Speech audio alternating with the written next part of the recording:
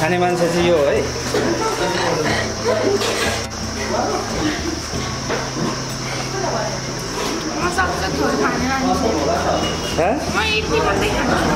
खाइसकेपछि यत्रो थाल छ थाल हेर्दै पत्तै लिएन थालको ओल्लो छेउदेखि पल्लो छेउसम्म जुठो लागेको छ।